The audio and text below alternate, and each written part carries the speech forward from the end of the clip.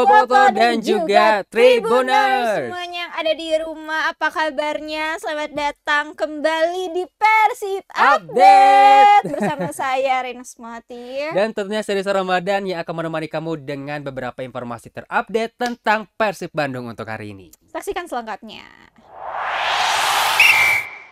Tribuners berita duka datang dari keluarga besar Persib Bandung yang akan diinformasikan oleh Reina. Silakan Rey. Ya jadi kemarin Innalillahi wa inna ilaihi rajiun ada salah satu legenda Persib Bandung yang berpulang ke rahmatullah yaitu Kang Encas Tonif ya Mhm, legenda. Persib Bandung tahun 1970-an Ya. beliau adalah mantan pemain Persib Bandung era 1970 Mhm. yang kemarin dikabarkan meninggal dunia Ya. Pada pukul 13.30 waktu Indonesia Barat. Kabar tersebut dibagikan melalui unggahan eh, Twitter Persib Bandung Mhm, dan mhm. juga telah dikonfirmasi oleh eh, salah satu juga legenda Persib Bandung Asep Mhm. Sumantri yang Ya. mengatakan eh, beliau juga meninggal Ya, pukul mhm. 13.30 waktu Indonesia Barat. Dan eh, bagi yang belum tahu pasti udah pada tahu sih ya Mhm, kalau ya, para bobotoh betul. sejati Mhm. Encas Tonif ini merupakan dulu dikenal sebagai back tangguh Mhm, mhm. Selain bermain untuk Persib Bandung di era 70-an, dia juga bergabung bersama Ya. Timnas Indonesia. Mhm, Nah, selain mhm. itu, karirnya bersama Persib Bandung itu berakhir, berakhir maksud saya Ya. di eh, ketika ia mampu mengan- menghantarkan Persib Mhm. Bandung ke final kompetisi Perserikatan tahun Ya. 1983. Mhm, mhm. Kala itu Persib Bandung berhadapan dengan PSMS Medan di Stadion Utama Senayan, Jakarta atau yang sekarang dikenal sebagai Stadion Utama Gelora Bung Karno Mhm.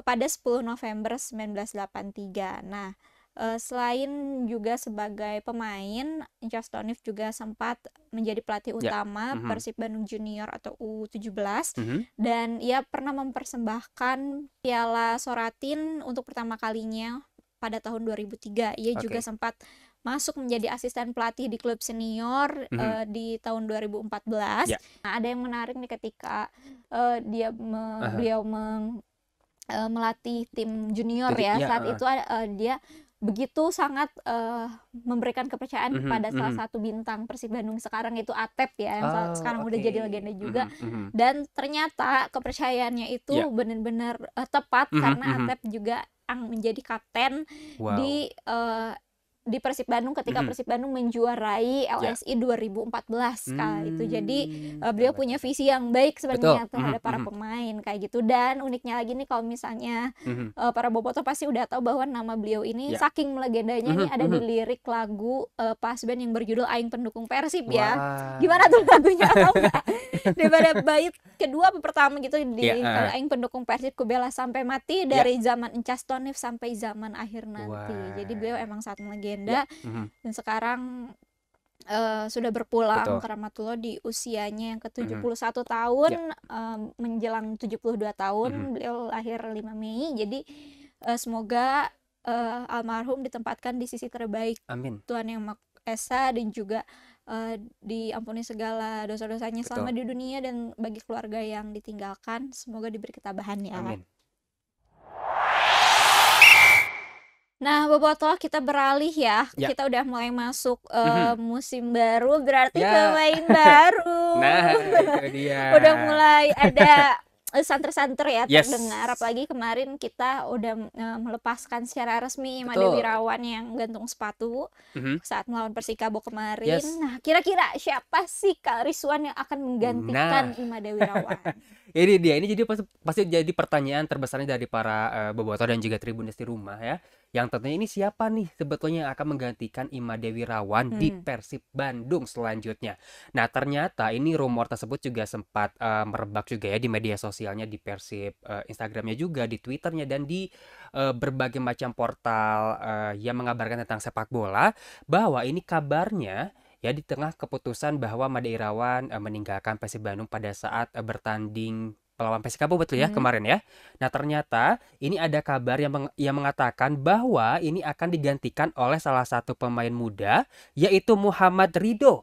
Hmm. Ya, ini merupakan kiper yang kini membela Bali United, United. kayak gitu ya. Tapi kan memang sebenarnya meskipun eh, tidak ada, misal ya ini, misal tidak ada eh, pengganti dari eh, Imade Wirawan karena kan memang sudah ada banyak eh, pemain seperti TJ Paku Alam juga Hmm. kan ya.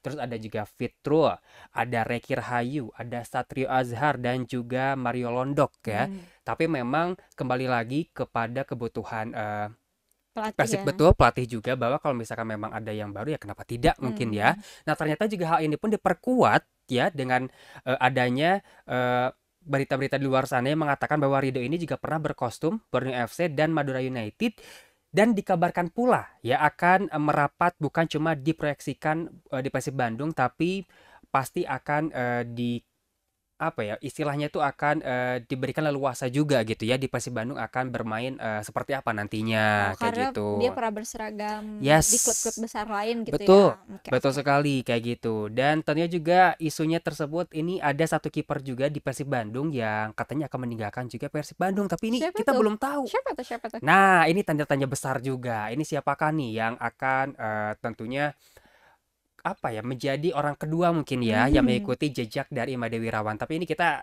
doa do- eh, doakan sih mudah-mudahan tidak ada kiper kembali lah ya Iya yang kemarin mm, kalau juga. Reki masih main, Mhm, Fitro mhm, juga, mhm. terus mungkin kalau Imade udah nggak ada, Ya. Teja masih main, Ya. terus Satrio Azhar dipanggil timnas, Yes. Aha. Terus siapa satu lagi Mario. Nah, Nah, ini Mario Fabio. Londok ini sebenarnya menjadi pertanyaan besar ya, Yes, ke mana yes. ya? Nah, itu dia. Karena eh, kemarin-kemarin sih kabar terakhir ya Aha, dari aha. Persib Bandungnya sih katanya cuti. Yes.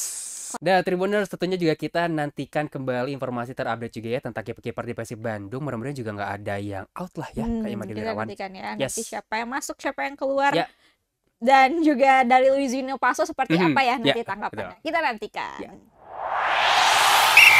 Tribuners, tentunya dengan merebaknya rumor-rumor tentang eh, siapakah nih yang akan pa- para pemain ini dari klub-klub lain yang akan bergabung di Persib Bandung. Ini mulai merebak juga ya di beberapa media sosial, mau itu Instagram, juga Twitter, mengenai eh, salah satu portal yang mengatakan bahwa ada beberapa pemain nih yang dikabarkan akan masuk ke Persib Bandung. Nah, ada siapa aja nih kira-kira kita ini rangkum Ya, ya, dari yes. berbagai cuitan-cuitan dan juga komen-komen para eh, pecinta Ya. sepak bola tanah air Mhm, ya. Salah mhm. satunya ada dari Instagramnya Yes.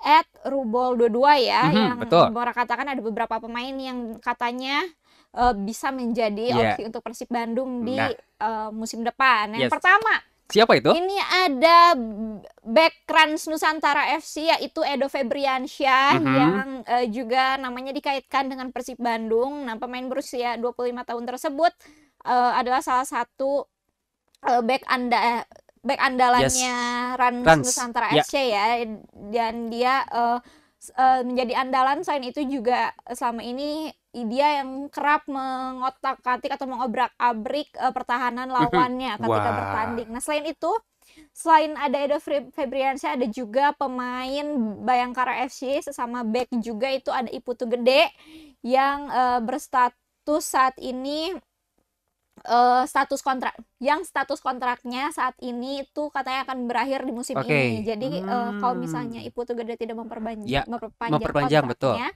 Katanya kemungkinan besar bisa bergabung bersama Nah, Persib Bandung kayak gitu. Itu Selain dia. itu, Ternyata ini juga masih ada juga yang ketiga nih Tribuners ya. Salah satunya adalah Septian David Maulana.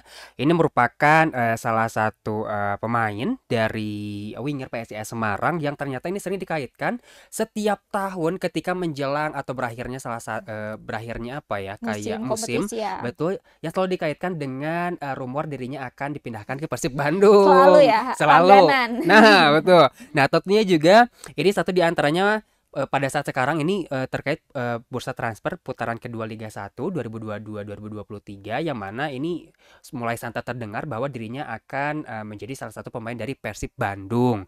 Ya, nah, namun kabar terkini pun juga menyebutkan bahwa Persib Bandung yang justru eh, bisa dikatakan sudah deal mungkin ya Hmm. dengan dirinya eh yang tentunya juga ini Septian David Maulana merupakan eh, mantan asuh Luis eh, Mia. Oh, oke. Nah, yang dulu di timnas Indonesia. Jadi mungkin ada keterkaitan juga eh, dengan melihat eh, performa dia dulu mungkin ya. Jadi Luis Milla juga mikir bahwa ah ini kayaknya bagus nih anak gitu Oke, kan buat mungkin ya Bandung. kita Nah, nantikan. Nah, kalau misalnya menurut Bobotoh nih, siapa ya kira-kira Ya. pemain-pemain yang akan merapat ke Mhm. Persib Bandung di musim depan atau mungkin Bobotoh juga udah mulai memperkirakan pemain-pemain Mhm. yang sekiranya Ya. bakal eh, hengkang ya Nah. atau hatur nuhun dari Persib Bandung di musim Yes. depan. Kalau kalian punya pendapat boleh banget Ya. tulis di kolom komentar. komentar. Ya, pokoknya sekali lagi kita doakan mudah-mudahan juga nanti uh, bursa transfernya lancar ya Iya. dan kita mendapatkan pemain-pemain yang berkualitas untuk nanti Betul. di Agar Pertandingan- bisa pertandingan kita bisa juara Yes. ya musim depan. Tribuners, itu dia tadi tiga informasi terupdate tentang Persib Bandung untuk hari ini. Jangan lupa untuk mengupdate informasi terkini seputar Persib Bandung lainnya di tribunjabar.id, tribuncirebon.com, dan juga tribunpriangan.com. Nah, jangan lupa juga untuk kamu like, komen, dan juga subscribe YouTube channel kami di Tribun Jabar Video. Kalau gitu, saya Rena Sukmawati. Dan saya Risa Ramadan pamit undur diri di Persib Update untuk hari ini. Sampai jumpa di Persib Update berikutnya. Bye-bye. Persib Bandung. Persib Bandung. Persib Bandung. Bye.